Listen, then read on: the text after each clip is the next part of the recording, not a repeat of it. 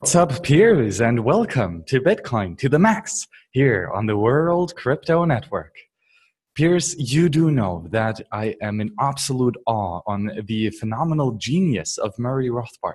Uh, so much that I uh, dedicated an entire show, Read Rothbard, Use Bitcoin, to this phenomenal man, as well as my thesis on anarchy and money. Uh, but the question is, why? Well, Rothbard has laid out the fundamental groundwork of the economics and monetary theory of Bitcoin in the 1960s, 70s, 80s with all his amazing uh, work that he has done in order to advance the theory of freedom in economics, Austrian economics. And uh, because don't trust, verify, we are actually well, going to read one of his uh, really short but breathtakingly beautiful books. And that is What Has Government Done to Our Money? A book written in 1963, right? So this is nothing new uh, by Murray Newton Rothbard.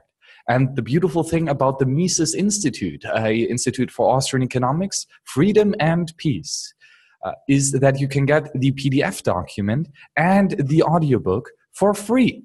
Okay, and Jeff Riggenbach is a much better reader uh, than I am, so definitely check that out as well. And because there is already a audiobook, uh, what we will do in this series specifically over the next couple uh, days is we're going to read this book, but not in the eyes of Rothbard in the 1963s, but actually in the eyes of Satoshi. And now that we have Bitcoin, and we will replace all the terms that account for, for gold terms and just slap Bitcoin on top and see if his case still holds up.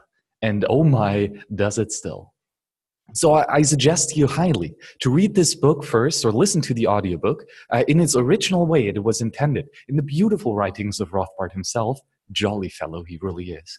Uh, but we will here talk about this phenomenal book, really 100% from the eyes of a Bitcoin. Uh, and I will not change any of the structure but just change some of the words. And I have done so uh, for myself, and it helped me a lot in understanding the value of Bitcoin. And I hope that this will under, help you in your understanding as well.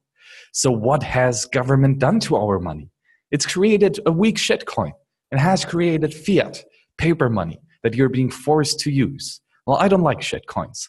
Let's talk about sound money.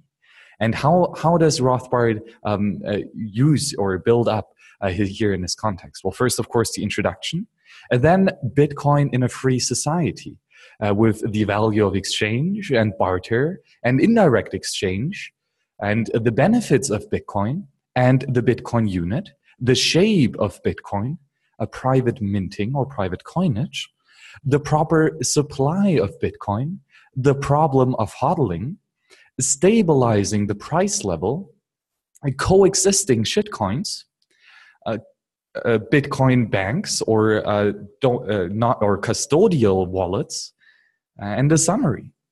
Uh, then government meddling with Bitcoin, the revenue of governing of, of governments, the economic the economical effects of inflation, the compulsory monopoly over the miners, the debasement, Gresham's law and coinage, with both again some talks about shitcoinery, and then legal tender, uh, and a summary for governments and coinage.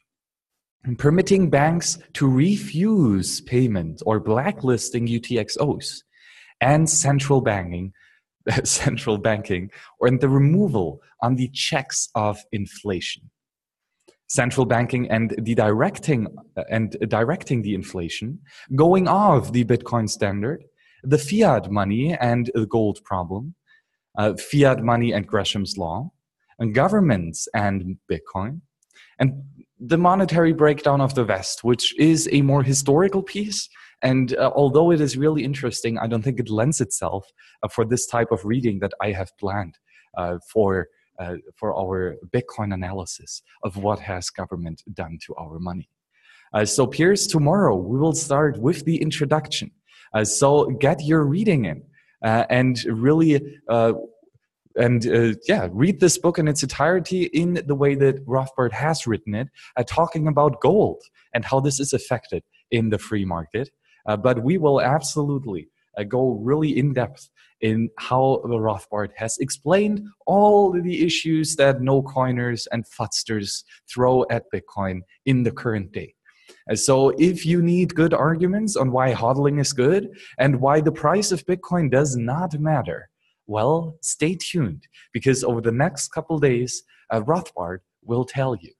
Peers, thank you for joining me here, and I'm really looking forward to this on the next couple shows here on the World Crypto Network on Bitcoin to the max, uh, which is a show supported by you, the peers uh, who check out the amazing Tallycoin website at tallyco.in slash Max. And for a small donation, you can get early access.